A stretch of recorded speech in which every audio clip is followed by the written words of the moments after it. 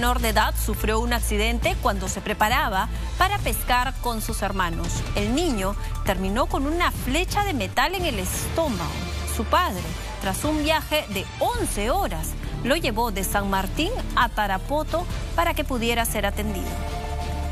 La flecha se quedó sartado dentro del estómago. Con una flecha en el estómago. Así terminó un niño cuando se preparaba para pescar junto a sus hermanos en la región de San Martín. Ellos todavía no se explican cómo ocurrió este accidente. No puedo explicarme, señor, cómo el niño introdujo ese, el fierro dentro de su estómago. Es una flecha. Es una flecha que tiene varias lengüetitas.